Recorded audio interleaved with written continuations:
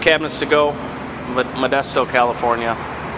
Standing here at the new storefront location. We've got to cut it in. Uh, we're framed in for it, but we've got this beam across here that's going to have to be raised up. So it's going to have to be reframed to resecure this siding because I've got nothing to attach the door to the new aluminum storefront and then the drywall can return into the the new storefront. So it's a double door setup with glass on each side. They're going to come tinted. Um,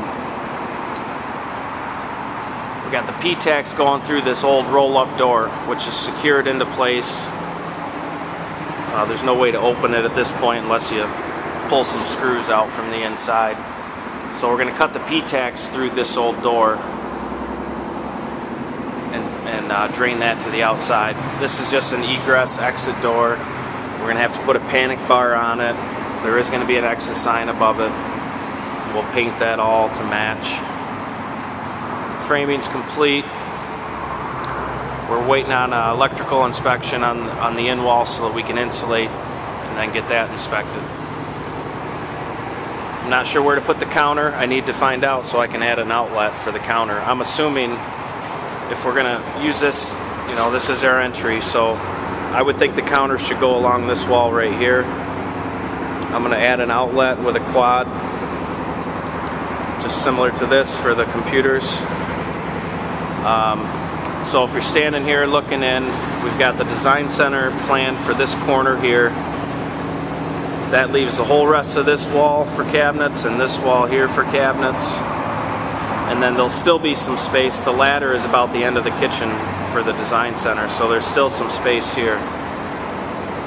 We've got the bathroom door here. We've got a little utility closet we put into the corner here.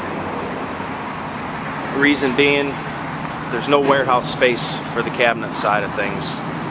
There was no electrical panel for the cabinet cabinets to go. So we brought in a new service panel. It's a 100 amp service panel. It's fed off of Lumber Liquidator's existing panel. So if that main breaker pops for lumber, this is going to go dead.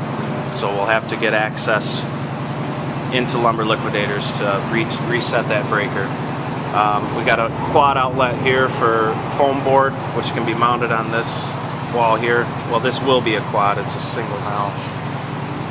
Um, and then this will be a drywalled with a ceiling in it with a light per code. Alright, so this is the bathroom. We got planned for a hard ceiling in here. Got the bath fan installed, it's up and vented to the outside. The in-wall plumbing is finished tomorrow we'll be getting inspected so I can start insulating again like I said. Insta-Hot underneath the sink. All the backers are in place. Concrete's going back in tomorrow. The underground's already been inspected and passed. And outside there is where they're compacting uh, where they did the sewer tap. So once they get finished with the concrete, now I can finish the plywood wall to the corner like we did the rest of the warehouse for lumber liquidators. And I can finish the bumpers all the way around. you can see half of this wall's been drywalled. This is lumber liquidator's side. So again, once the concrete's back in place, I can finish framing this wall in and board both sides. And then I can do my bumpers. Once the drywall goes on this demising wall here, then I can finish the plywood on the warehouse wall.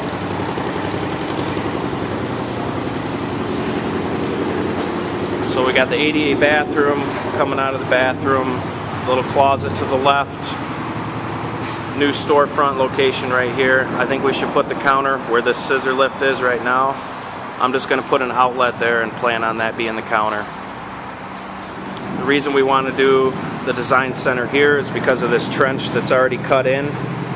So because this is being inspected, I've got to run PVC pipe underground and over into the island area for the computers and the Cat 5.